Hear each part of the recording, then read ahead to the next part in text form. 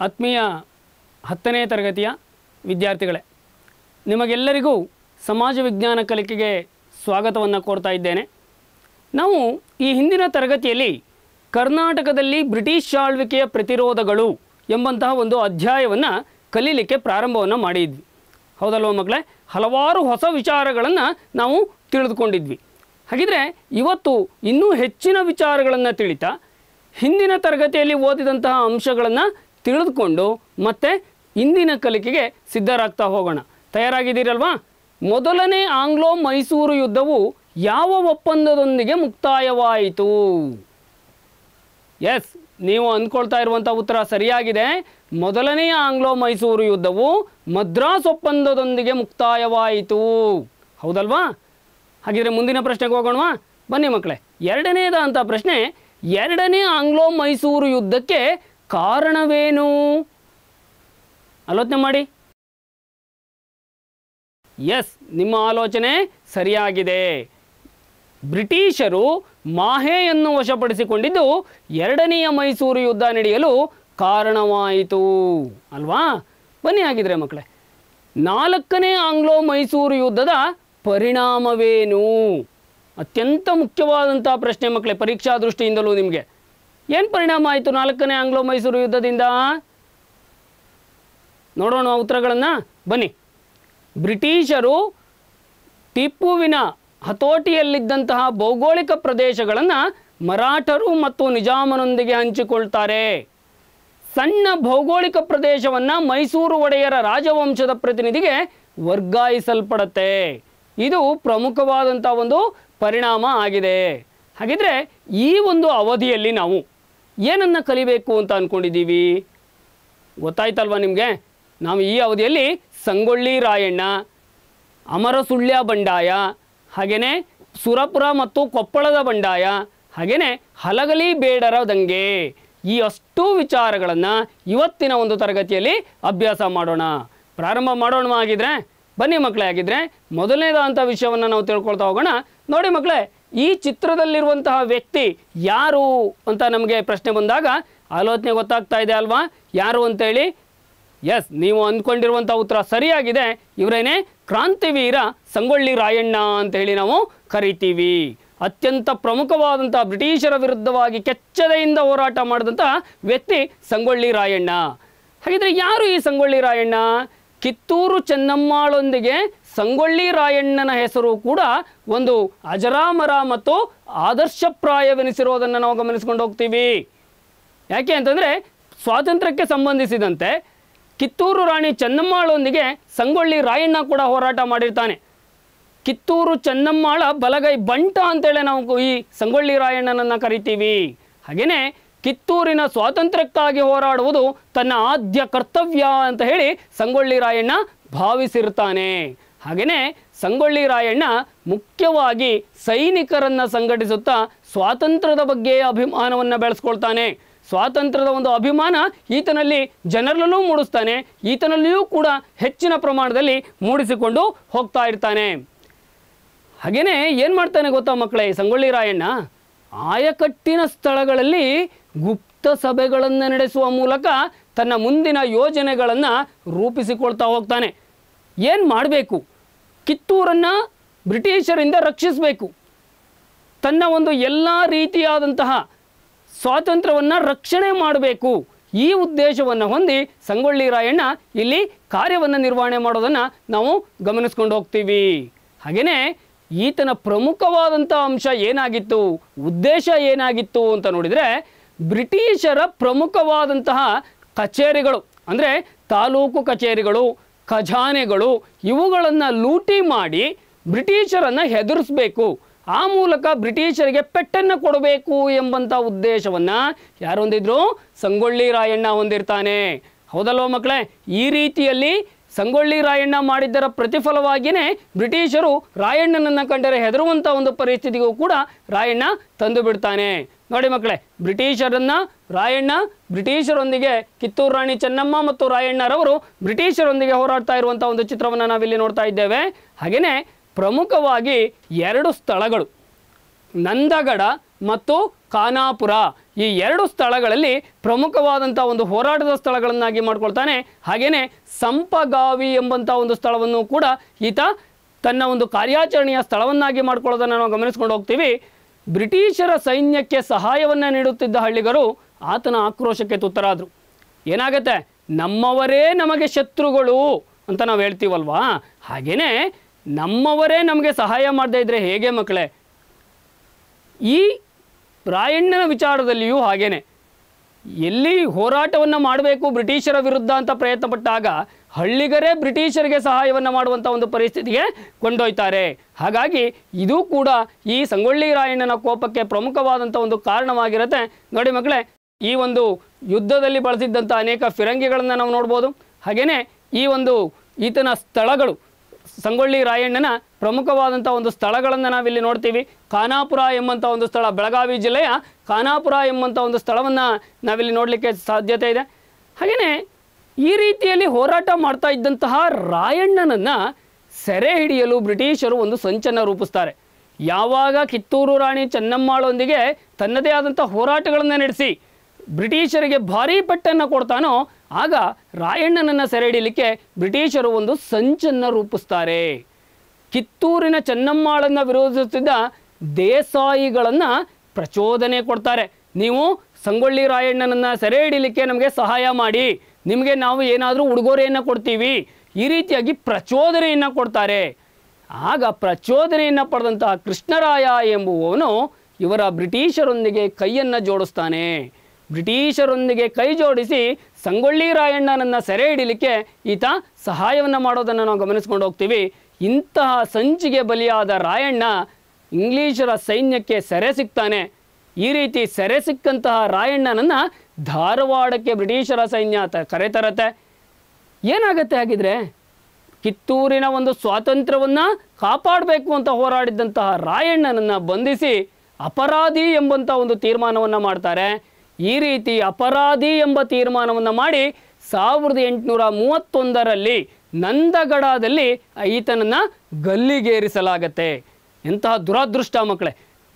ಸ್ವಾತಂತ್ರ್ಯಕ್ಕೋಸ್ಕರವಾಗಿ ಸ್ವಾತಂತ್ರ್ಯ ಪ್ರೇಮವನ್ನು ಬೆಳೆಸಿಕೊಂಡಿದ್ದಂತಹ ಸಂಗೊಳ್ಳಿ ರಾಯಣ್ಣನನ್ನು ಸಂಚಿನಿಂದ ನಮ್ಮವರೇ ಸೆರೆ ಹಿಡಿಸಿ ಕೊಟ್ಟರು ಅಂತಂದರೆ ಇದಕ್ಕಿಂತ ಅವಮಾನವೀಯ ಇನ್ನೇನಿದೆ ಮಕ್ಕಳೇ ನಮಗೆ ಅಲ್ವಾ?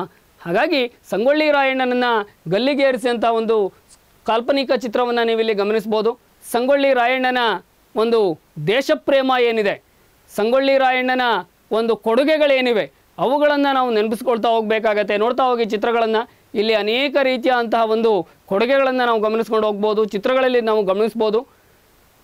ಈತನ ಒಂದು ಕೊಡುಗೆಗಳಿದ್ದಾವಲ್ಲ ಈತನ ದೇಶಪ್ರೇಮ, ಈತನ ಸಾಹಸ, ಇವುಗಳೆಲ್ಲವೂ ಕೂಡ ಲಾವಣಿಗಳ ರೂಪದಲ್ಲಿ ಇಂದಿಗೂ ಕೂಡ ಜೀವಂತವಾಗಿದೆ. ಲಾವಣಿಗಳಲ್ಲಿ ಸಂಗೊಳ್ಳಿ ರಾಯಣ್ಣ ಇಂದಿಗೂ ಕೂಡ ಜೀವಂತವಾಗಿದ್ದಾನೆ. ಇದು ಸಂಗೊಳ್ಳಿ ರಾಯಣ್ಣನನ್ನ ಪ್ರಮುಖವಾಗಿ ಇಂದಿಗೂ ಕೂಡ ಒಂದು ಪೂಜ್ಯನೀಯ ಅಂತ ಹೇಳಿ ಗೌರವಿಸುವಂತಹ ಒಂದು ಅಂಶವನ್ನು ನಾವು ಗಮನಿಸ್ಕೊಂಡು ಹೋಗ್ತೀವಿ.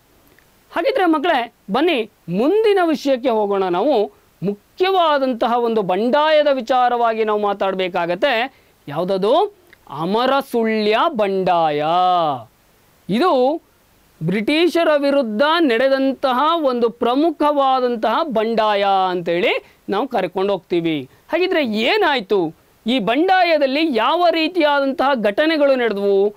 ಒಂದೊಂದೇ ಪ್ರಾರಂಭ ಮಾಡೋಣ ಮಕ್ಕಳ ಅಧ್ಯಯನ ಮಾಡೋದಕ್ಕೆ. ಬನ್ನಿ ಮಕ್ಕಳೇ ಇದು ಮೂಲತಃ ಒಂದು ರೈತ ಬಂಡಾಯ. ಸಾಮಾನ್ಯವಾಗಿ ರೈತರು ಬಂಡೇಳುವುದು ಕಡಿಮೆ. ಆದರೆ ಇದು ಒಂದು ರೈತರ ಬಂಡಾಯ, ಬ್ರಿಟಿಷರ ಒಂದು ಶೋಷಣೆಯ ವಿರುದ್ಧವಾಗಿ ಈ ಒಂದು ಅಮರಸುಳ್ಯ ಬಂಡಾಯ ನಡೆಯೋದನ್ನು ನಾವು ಗಮನಿಸ್ಕೊಂಡು ಹೋಗ್ತೀವಿ. ಯಾಕೆ ಬಂಡೆದ್ರು ಹಾಗಿದ್ರೆ? ಇಡಲಿಕ್ಕೆ ಪ್ರಮುಖವಾದಂಥ ಕಾರಣ ಏನು ಅಂತ ನೋಡಿದರೆ, ಮುಖ್ಯವಾಗಿ ಗಮನಿಸಬೇಕಾಗಿರುವಂತಹದ್ದು ಕೊಡಗಿನಲ್ಲಿ ಆಳ್ವಿಕೆ ಮಾಡ್ತಾ ಇದ್ದಂತಹ ಹಾಲೇರಿ ರಾಜಮನೆತನದ ಚಿಕ್ಕವೀರ ರಾಜೇಂದ್ರ ಅಂತ ಹೇಳಿ ದೊರೆ ಇರ್ತಾನೆ.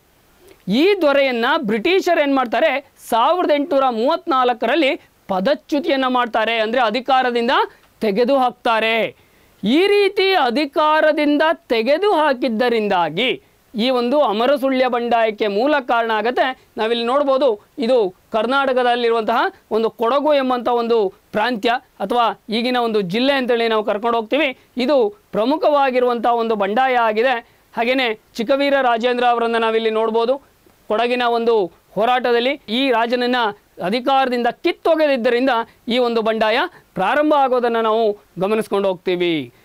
ಹಾಗೆಯೇ ಈ ಚಿಕ್ಕವೀರ ರಾಜೇಂದ್ರರ ಪದಚ್ಯುತಿ ಕೊಡಗಿನಲ್ಲಿ ಒಂದು ಅಸಮಾಧಾನವನ್ನು ಸೃಷ್ಟಿ ಮಾಡುತ್ತೆ. ಹೌದಲ್ವಾ? ಯಾವುದೇ ಒಬ್ಬನನ್ನು ನಾವು ರಾಜ ಅಂತ ಅಂದ್ಕೊಂಡಿರ್ತೀವಿ ಆತನನ್ನು ಇದ್ದಕ್ಕಿದ್ದ ಹಾಗೆ ಆತನನ್ನು ಅಧಿಕಾರದಿಂದ ಕಿತ್ತೋಗಿದ್ರೆ ಯಾರಿಗೆ ತಾನೇ ಬೇಜಾರಾಗೋದಿಲ್ಲ. ತನ್ನ ದೊರೆಯನ್ನು ಅಧಿಕಾರದಿಂದ ಕಿತ್ತೊಗೆದಿದ್ದಾರೆ. ಎಂಬಂತಹ ಒಂದು ಅಸಮಾಧಾನ ಅಲ್ಲಿ ಇರುವ ಕೆಲವು ಜನರಲ್ಲಿ ಮೂಡುತ್ತೆ. ಮುಖ್ಯವಾಗಿ ಯಾರ್ಯಾರು?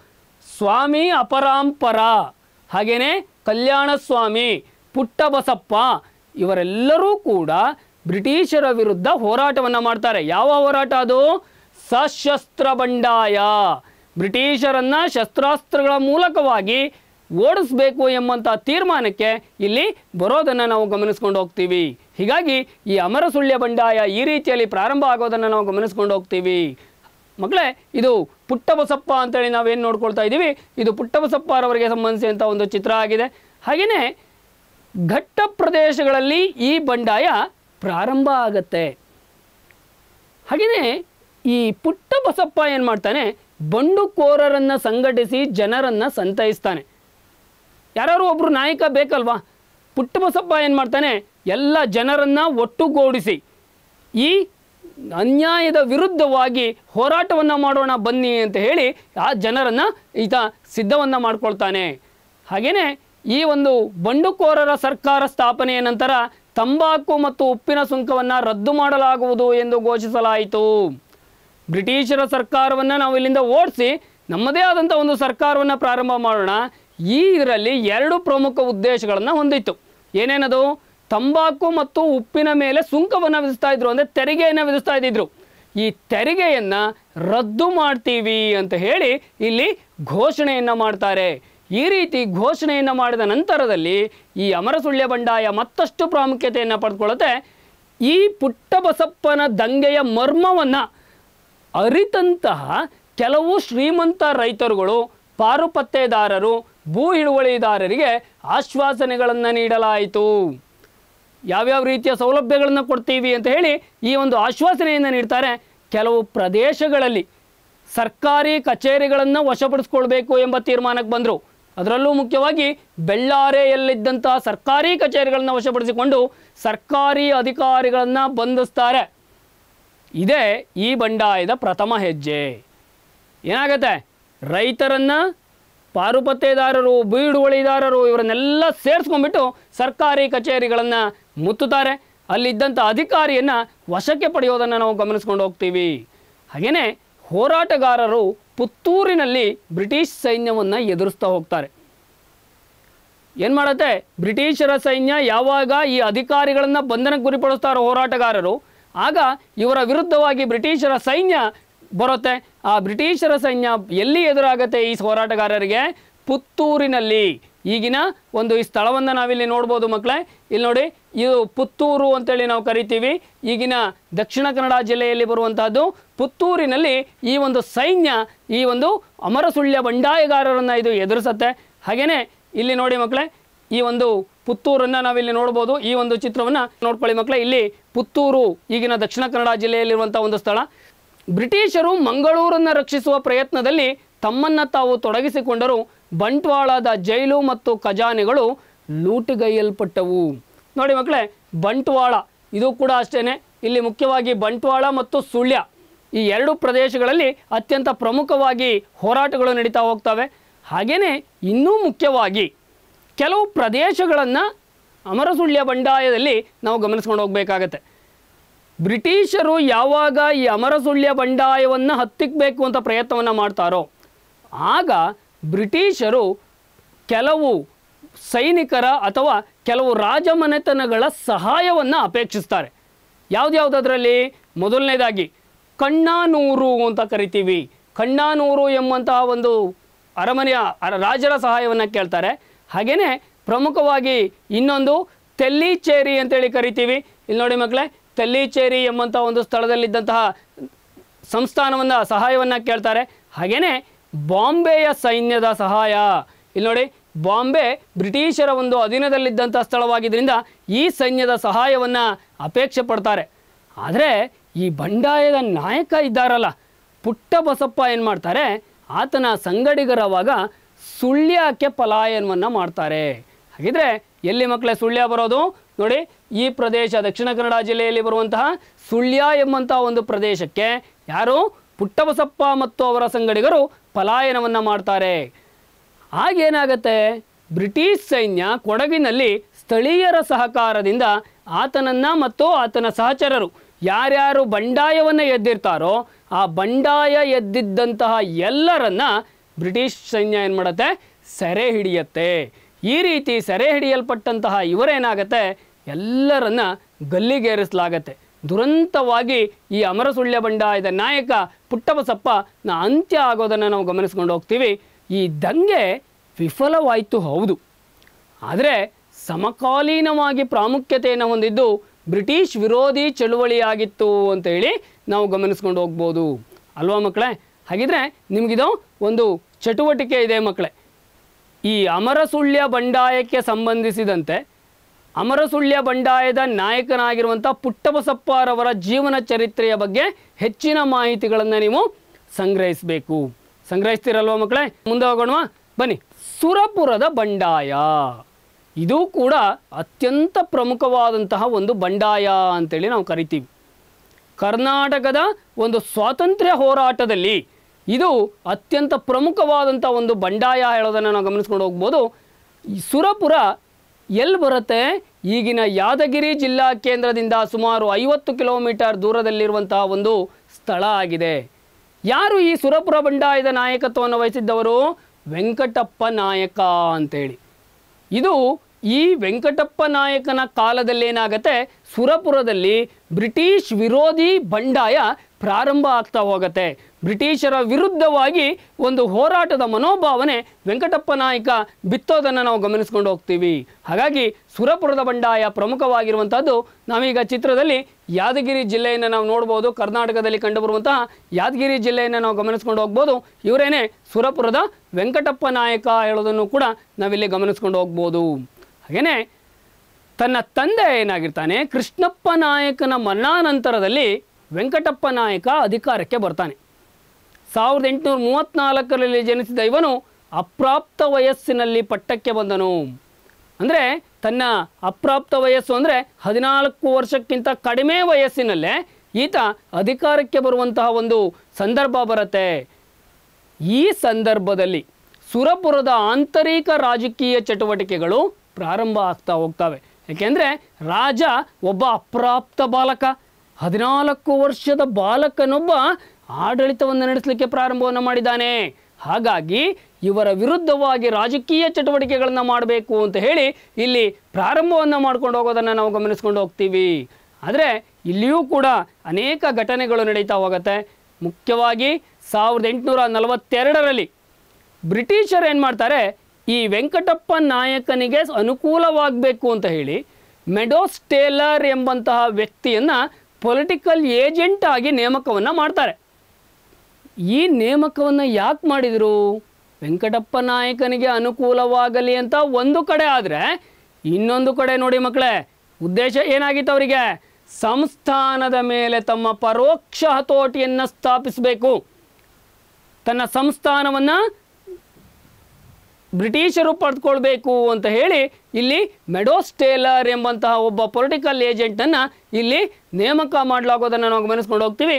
ಇವರು ಮೆಡೋಸ್ ಟೇಲರ್ ಅಂತ ಈ ಒಂದು ಸುರಪುರದ ಒಂದು ಸಂದರ್ಭದಲ್ಲಿ ಪೊಲಿಟಿಕಲ್ ಏಜೆಂಟ್ ಆಗಿ ಇದ್ದಂಥವರು ಹಾಗೆಯೇ ಟೇಲರ್ ಹಾಗಿದ್ರೆ ಈ ಟೇಲರ್ ಅವರ ಕೊಡುಗೆಗಳೇನೇನು ನಿಮಗೆ ಪ್ರಶ್ನೆಗಳನ್ನು ಕೂಡ ಕೇಳ್ಬೋದು. ಪರೀಕ್ಷೆಗಳಲ್ಲಿ ಸುರಪುರದ ಅಭಿವೃದ್ಧಿಯಲ್ಲಿ ಟೇಲರ್ ಅವರ ಪಾತ್ರವೇನು ಅಂತೇಳಿ ಅದಕ್ಕೂ ಕೂಡ ನಾವಿಲ್ಲಿ ಅಂತರವನ್ನು ಕಂಡುಕೊಳ್ತಾ ಪಾಠವನ್ನು ಮುಂದುವರ್ಸ್ಕೊಂಡು ಹೋಗೋಣ. ಟೇಲರ್ ಒಬ್ಬ ಸುಧಾರಣಾವಾದಿಯಾಗಿದ್ದನು. ಕೇವಲ ಪೊಲಿಟಿಕಲ್ ಏಜೆಂಟ್ ಮಾತ್ರ ಅಲ್ಲ, ಸುಧಾರಣೆಯನ್ನೂ ಕೂಡ ಮಾಡಬೇಕು ಎಂಬ ಮನೋಭಾವನೆಯನ್ನು ಹೊಂದಿದ್ದಂತಹ ವ್ಯಕ್ತಿಯಾಗಿದ್ದನ್ನು ನಾವು ಗಮನಿಸ್ಕೊಂಡು ಹೋಗ್ತೀವಿ. ಸುರಪುರ ಸಂಸ್ಥಾನವನ್ನು ಅಭಿವೃದ್ಧಿಪಡಿಸ್ತಾನೆ ಎಲ್ಲ ರಂಗದಲ್ಲಿ ಸುರಪುರವನ್ನು ಅಭಿವೃದ್ಧಿ ಮಾಡುವಂಥ ಒಂದು ಪ್ರಯತ್ನಕ್ಕೆ ಇಲ್ಲಿ ಕೈ ಹಾಕೋದನ್ನು ನಾವು ಗಮನಿಸ್ಕೊಂಡು ಹೋಗ್ತೀವಿ. ಮುಖ್ಯವಾಗಿ ಏನು ಮಾಡ್ತಾನೆ ಪೆದ್ದ ನಾಯಕನನ್ನು ಸಂಸ್ಥಾನದ ದಿವಾನನನ್ನಾಗಿ ನೇಮಿಸ್ತಾನೆ. ಏಕೆಂದರೆ ಆ ಬಾಲಕನಿಗೆ ಸಹಾಯ ಮಾಡಬೇಕು. ಹಾಗಾಗಿ ದಿವಾನನನ್ನು ನೇಮಕ ಮಾಡ್ತಾರೆ. ಹಾಗೆಯೇ ಸಂಸ್ಥಾನದ ಭೂ ಸಮೀಕ್ಷೆಯನ್ನು ಮಾಡಿಸ್ತಾನೆ. ಭೂ ಸಮೀಕ್ಷೆಯನ್ನು ಮಾಡಿಸಿ ಎಲ್ಲಿಯವರೆಗೆ ತನ್ನ ಸಂಸ್ಥಾನ ಹರಡಿದೆ? ಇದು ಗೊತ್ತಾಗಬೇಕು ಎಂಬಂಥ ಉದ್ದೇಶ ಇಲ್ಲಿ ಇತ್ತು. ಇದು ಸುರಪುರಕ್ಕೆ ಸಂಬಂಧಿಸಿದಂಥ ಒಂದು ಚಿತ್ರವನ್ನು ನಾವಿಲ್ಲಿ ನೋಡ್ತಾ ಇದ್ದೇವೆ. ಹಾಗೆಯೇ ಸಂಸ್ಥಾನದ ಆದಾಯ ಹೆಚ್ಚಾಗಲಿಕ್ಕೆ ಈತನ ಕೆಲವು ನೀತಿಗಳು ಪ್ರಮುಖವಾಗಿ ಕಾರಣ ಆಗ್ತಾ ಹೋಯಿತು. ವೆಂಕಟಪ್ಪ ನಾಯಕನಿಗೆ ಶಿಕ್ಷಣವನ್ನು ಕೊಡಿಸುವ ವ್ಯವಸ್ಥೆಯನ್ನು ಕಲ್ಪಿಸಿಕೊಟ್ಟನು. ಬಾಲಕನಾಗಿದ್ದು ಆತನಿಗೆ ಶಿಕ್ಷಣ ಹೆಚ್ಚಿನ ಪ್ರಮಾಣದಲ್ಲಿ ಬೇಕಾಗ್ತಿತ್ತು. ಹಾಗಾಗಿ ಶಿಕ್ಷಣವನ್ನು ಕಲ್ಪಿಸಿಕೊಡುವ ಒಂದು ವ್ಯವಸ್ಥೆಯನ್ನು ಕೂಡ ಈ ಒಂದು ಮೆಡೋಸ್ ಟೇಲರ್ ಇಲ್ಲಿ ಮಾಡಿರೋದನ್ನು ನಾವು ಗಮನಿಸ್ಕೊಂಡು ಹೋಗ್ತೀವಿ. ಹಾಗೆಯೇ ಸಾವಿರದ ಎಂಟುನೂರ ಐವತ್ತೇಳು. ಇದು ಅತ್ಯಂತ ಪ್ರಮುಖವಾದಂತಹ ಘಟ್ಟ. ಯಾಕೆಂದರೆ ಸಾವಿರದ ಎಂಟುನೂರ ಐವತ್ತೇಳರಲ್ಲಿ ಪ್ರಥಮ ಸ್ವಾತಂತ್ರ್ಯ ಸಂಗ್ರಾಮ ನಡೆಯುತ್ತೆ. ಈ ಸಾವಿರದ ಎಂಟುನೂರ ಐವತ್ತೇಳರ ಪ್ರಥಮ ಸ್ವಾತಂತ್ರ್ಯ ಸಂಗ್ರಾಮಕ್ಕೆ ಸಂಬಂಧಿಸಿದಂತೆ ನಾನಾ ಸಾಹೇಬನ ಪ್ರತಿನಿಧಿಗಳು ಸುರಪುರದಲ್ಲಿದ್ದಾರೆ ಎಂಬಂಥ ಪುಕಾರು ಬ್ರಿಟಿಷರಿಗೆ ಕಂಡುಬರುತ್ತೆ. ಅಂದರೆ ಬ್ರಿಟಿಷರಿಗೆ ಯಾರೋ ಹೋಗಿ ಕಿವಿಯನ್ನು ಚುತ್ತಾರೆ. ಏನಂತ? ನಾನಾ ಸಾಹೇಬನ ಪ್ರತಿನಿಧಿಗಳಿಗೆ ವೆಂಕಟಪ್ಪ ನಾಯಕ ಆಶ್ರಯವನ್ನು ಕೊಟ್ಟಿದ್ದಾನೆ ಸುರಪುರದಲ್ಲಿ ಎಂಬಂಥ ಒಂದು ಆರೋಪವನ್ನು ಇಲ್ಲಿ ಮಾಡ್ತಾರೆ. ಈ ರೀತಿಯಾದಂಥ ಆರೋಪಗಳು ಬಂದಂತಹ ಸಂದರ್ಭದಲ್ಲಿ ವೆಂಕಟಪ್ಪ ನಾಯಕನನ್ನೇನಾಗುತ್ತೆ? ಬ್ರಿಟಿಷರು ಸಂಶಯದಿಂದ ಕಾಣ್ತಾರೆ. ಯಾರೋ ಹೇಳಿದರು, ಇವರು ವೆಂಕಟಪ್ಪ ನಾಯಕನ ವಿರುದ್ಧವಾಗಿ ಸಂಶಯದಿಂದ ಕಾಣುವಂಥ ಒಂದು ಪರಿಸ್ಥಿತಿಯಲ್ಲಿ ನಿರ್ಮಾಣ ಆಗುತ್ತೆ. ಆಗ ಬ್ರಿಟಿಷರು ಏನು ಮಾಡ್ತಾರೆ? ಈ ಒಂದು ಪುಕಾರಿನ ಬಗ್ಗೆ ವರದಿಯನ್ನು ಕೊಡಬೇಕು. ಅಂತ ಬ್ರಿಟಿಷ್ ಸರ್ಕಾರ ಕ್ಯಾಂಪ್ ಬೆಲ್ ಎಂಬಂಥ ಒಬ್ಬ ಅಧಿಕಾರಿಯನ್ನು ನೇಮಿಸ್ತಾರೆ. ಆ ಅಧಿಕಾರಿ ಒಂದು ವರದಿಯನ್ನು ಕೊಡ್ತಾನೆ. ಏನಿತ್ತು ಆ ವರದಿಯಲ್ಲಿ? ರಾಜ ಆಂತರಿಕ ದುರ್ವ್ಯವಹಾರಗಳಲ್ಲಿ ನಿರತನಾಗಿದ್ದಾನೆ ಎಂಬ ಅಂಶವನ್ನು ಹೈದರಾಬಾದಿನ ರೆಸಿಡೆಂಟನಿಗೆ ಸಲ್ಲಿಸ್ತಾನೆ. ರಾಜ ಕೆಲವೊಂದು ಆಂತರಿಕವಾಗಿ ಚಟುವಟಿಕೆಗಳನ್ನು ಕೈಗೊಳ್ತಾ ಇದ್ದಾನೆ, ದುರ್ವ್ಯವಹಾರಗಳಲ್ಲಿದ್ದಾನೆ. ಈ ಒಂದು ವರದಿಯನ್ನು ಇಲ್ಲಿ ಹೈದರಾಬಾದಿನ ಒಂದು ಸರ್ಕಾರಕ್ಕೆ ನೀಡ್ತಾನೆ. ಏನಾಯಿತು ಇದರಿಂದ? ವೆಂಕಟಪ್ಪ ನಾಯಕ ಪ್ರಮುಖವಾಗಿ ಬ್ರಿಟಿಷರ ವಿರುದ್ಧವಾಗಿ ಗುರುತಿಸ್ಕೊಳ್ತಾನೆ. ವೆಂಕಟಪ್ಪ ನಾಯಕನನ್ನು ಇನ್ನೂ ಒಂದು ಹೆಸರಿಂದ ಕರಿತೀವಿ. ಸಾವಿರದ ಎಂಟುನೂರ ಐವತ್ತ ಏಳರ ಪ್ರಥಮ ಸ್ವಾತಂತ್ರ್ಯ ಸಂಗ್ರಾಮದ ನಾಯಕ ಅಂತ ಹೇಳಿ ಕರ್ನಾಟಕದ ಚರಿತ್ರೆಯಲ್ಲೇ ನಾವು ಕರಿತೀವಿ. ಹದಿನೆಂಟುನೂರ ಐವತ್ತೇಳರ ದಂಗೆ ಅಷ್ಟೊಂದು ಸ್ವರೂಪವನ್ನು ಪಡೆದುಕೊಂಡಿತ್ತು ನಮ್ಮ ಕರ್ನಾಟಕದಲ್ಲಿ. ಹಾಗಾಗಿಯೇ ಇವನನ್ನು ನಾಯಕ ಅಂತ ಕರೆದಿರೋದರಲ್ಲಿ ಯಾವುದೇ ಕೂಡ ತಪ್ಪು ಕೂಡ ಇಲ್ಲ ಎಂಬಂಥ ಅಂಶವನ್ನು ಕೂಡ ನಾವಿಲ್ಲಿ ನೋಡ್ಕೊಂಡು ಹೋಗ್ಬೋದು. ಹಾಗೆಯೇ ಸಾವಿರದ ಎಂಟುನೂರ ಐವತ್ತೆಂಟರಲ್ಲಿ ಏನಾಗುತ್ತೆ? ಬ್ರಿಟಿಷರ ಸೈನ್ಯ ಸುರಪುರಕ್ಕೆ ಮುತ್ತಿಗೆಯನ್ನು ಹಾಕತ್ತೆ. ಮುತ್ತಿಗೆಯನ್ನು ಹಾಕಿ ಈ ಸುರಪುರ ಕೋಟೆಯನ್ನು ಬ್ರಿಟಿಷರು ವಶಪಡಿಸ್ಕೊಳ್ಳೋದನ್ನು ನಾವು ಗಮನಿಸ್ಕೊಂಡು ಹೋಗ್ತೀವಿ. ಮತ್ತೊಂದು ಪ್ರಮುಖವಾದಂಥ ವಿಷಯ, ಕೊಪ್ಪಳದ ವೀರಪ್ಪ. ಬ್ರಿಟಿಷ್ ವಿರೋಧಿ ಚಳುವಳಿ, ಸಶಸ್ತ್ರ ಬಂಡಾಯ ಮತ್ತು ದಂಗೆಗಳಲ್ಲಿ ಇದು ಪ್ರಮುಖವಾಗಿರುವಂತಹದ್ದು ಈ ಕೊಪ್ಪಳ ಏನಿದೆ, ಇದು ಹೈದರಾಬಾದಿನ ನಿಜಾಮನ ಆಡಳಿತಕ್ಕೊಳಪಟ್ಟಂಥ ಒಂದು ಪ್ರದೇಶ. ಹೈದರಾಬಾದಿನ ನಿಜಾಮನ ಆಡಳಿತದಲ್ಲಿದ್ದಂತಹ ಒಂದು ಪ್ರದೇಶ ಆಗಿದ್ದನ್ನು ನಾವು ಗಮನಿಸ್ಕೊಂಡು ಹೋಗ್ತೀವಿ. ನೋಡಿ ಮಕ್ಕಳೇ, ಇದು ಕೊಪ್ಪಳ, ನಮ್ಮ ಕರ್ನಾಟಕದ ಒಂದು ಜಿಲ್ಲೆ. ಇದು ಹಿಂದೆ ಏನಾಗಿತ್ತು, ಹೈದರಾಬಾದಿನ ನಿಜಾಮನ ನಿಯಂತ್ರಣಕ್ಕೊಳಪಟ್ಟಿದ್ದಂಥ ಒಂದು ಪ್ರದೇಶ ಆಗಿತ್ತು. ಆದರೆ, ಇಲ್ಲೇನಾಗತ್ತೆ, ದೌರ್ಜನ್ಯ, ಬ್ರಿಟಿಷರ ಒಂದು ಕಾಲದಿಂದಲೂ ಕೂಡ ಏನಾಗತ್ತೆ, ದೌರ್ಜನ್ಯ ಕಂಡುಬರುತ್ತೆ. ಯಾರು ದೌರ್ಜನ್ಯ ಮಾಡ್ತಾ ಇದ್ದವರು? ಹೈದರಾಬಾದಿನ ನಿಜಾಮರು ದೌರ್ಜನ್ಯವನ್ನು ಮಾಡ್ತಾ ಇದ್ದರು ಈ ಹಿನ್ನೆಲೆಯಲ್ಲಿ ಏನಾಗುತ್ತೆ?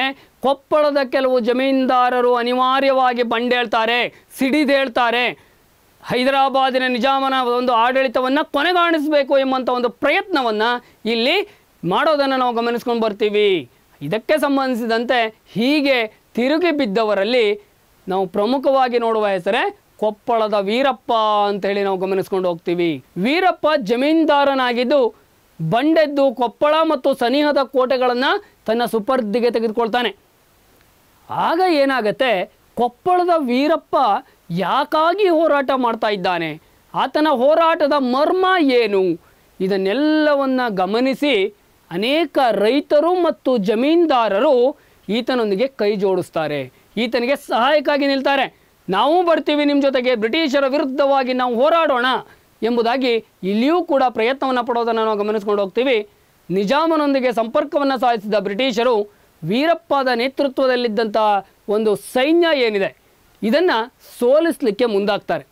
ಇವೆಲ್ಲ ಅಂಶಗಳ ಹಿನ್ನೆಲೆಯಲ್ಲಿ ಕೊಪ್ಪಳದ ವೀರಪ್ಪ ಹೋರಾಟವನ್ನು ನಡೆಸಿ ಮರಣವನ್ನು ಹೊಂದೋದನ್ನು ನಾವು ಗಮನಿಸ್ಕೊಂಡು ಹೋಗ್ತೀವಿ. ಬನ್ನಿ ಮಕ್ಕಳಾಗಿದ್ದರೆ ಇನ್ನೊಂದು ಹೊಸ ವಿಷಯವನ್ನು ತಿಳ್ಕೊಳ್ಳೋಣ. ಪ್ರಮುಖವಾಗಿರುವಂಥದ್ದು ಹಲಗಲಿ ಬೇಡರ ದಂಗೆ ಹಲಗಲಿ ಬೇಡರ ದಂಗೆ ಕರ್ನಾಟಕದ ಒಂದು ಬಾಗಲಕೋಟೆ ಜಿಲ್ಲೆಯ ಮುಧೋಳ ತಾಲೂಕಿನಲ್ಲಿ ಈ ಒಂದು ಹಲಗಲಿ ಎಂಬಂಥ ಒಂದು ಸ್ಥಳ ಇದೆ. ಯಾಕೆ ಬಂಡೆದ್ರು ಇವರು? ಬಂಡೆಡಲಿಕ್ಕೆ ಕಾರಣ ಏನು? ಹದಿನೆಂಟುನೂರ ಐವತ್ತೇಳರ ಬಂಡಾಯ ಸಂದರ್ಭದಲ್ಲಿ ಬ್ರಿಟಿಷರು ಏನು ಮಾಡ್ತಾರೆ ಒಂದು ಕಾನೂನನ್ನು ಜಾರಿಗೆ ತರ್ತಾರೆ. ಏನದು ಕಾನೂನು? ಶಸ್ತ್ರಾಸ್ತ್ರಗಳ ಬಳಕೆಯನ್ನು ನಿಷೇಧಿಸ್ತಾರೆ. ಯಾರೂ ಕೂಡ ಶಸ್ತ್ರಾಸ್ತ್ರವನ್ನು ಹೊಂದುವಾಗಿಲ್ಲ. ಆ ಶಸ್ತ್ರಾಸ್ತ್ರಗಳನ್ನು ಹೊಂದಿದರೆ ತಮಗೆ ನೀಡಬೇಕು ಅಂತ ಹೇಳಿ ಆ ಕಾನೂನನ್ನು ಜಾರಿಗೆ ತರ್ತಾರೆ. ಆದರೆ ಒಂದು ವಿಷಯ ಇಲ್ಲಿ ಗಮನಿಸಬೇಕು. ಹಲಗಲಿ ಬೇಡರಿಗೆ ತಲೆ ತಲಾಂತರಗಳಿಂದ ಅವರ ಹಿಂದಿನ ಕಾಲದಿಂದಲೂ ಬೇಟೆಯಾಡುತ್ತಾ ಬದುಕಿ ಬಂದಿರುವಂಥವರು.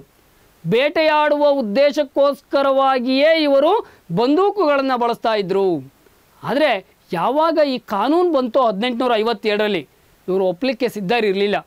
ನಾವು ಒಪ್ಪೋದಿಲ್ಲ. ನಮಗೆ ಈ ಒಂದು ಕಾನೂನಿನ ಒಂದು ಅವಶ್ಯಕತೆ ಇಲ್ಲ ಅಂತ ಹೇಳಿ ಬಂಡೆ ಹೇಳ್ತಾರೆ. ಬ್ರಿಟಿಷರ ವಿರುದ್ಧವಾಗಿ ಹೋರಾಟಕ್ಕೆ ಮುನ್ನುಗ್ಗೋದನ್ನು ನಾವು ಗಮನಿಸ್ಕೊಂಡು ಹೋಗ್ತೀವಿ. ಬ್ರಿಟಿಷರ ವಿರುದ್ಧವಾಗಿ ಬಿಲ್ಲು ಬಾಣಗಳಿಂದ ಹೋರಾಟವನ್ನು ನಡೆಸ್ತಾರೆ. ಇವೆಲ್ಲವನ್ನು ನಾವಿಲ್ಲಿ ಈ ಚಿತ್ರದಲ್ಲಿ ನಾವು ಗಮನಿಸ್ಕೊಂಡು ಹೋಗ್ಬೋದು.